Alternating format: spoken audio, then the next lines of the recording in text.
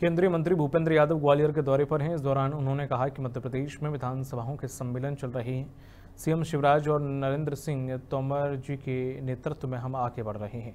कार्यकर्ताओं के साथ मिलकर संभाग की बैठक आयोजित की गई। सीएम शिवराज सिंह चौहान और पीएम नरेंद्र मोदी जी की जन कल्याणकारी योजनाओं को लेकर मध्य प्रदेश के विधानसभा चुनाव में उतरे हैं।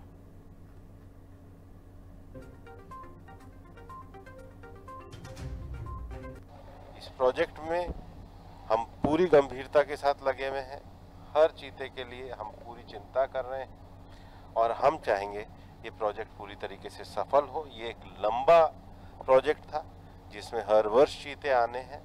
इसकी जो संवेदनशीलता उसको हम स्वीकार करते हैं और इस प्रोजेक्ट को हम सफल नहीं ये तो जो नहीं ये कोई प्लान नहीं चल रहा है।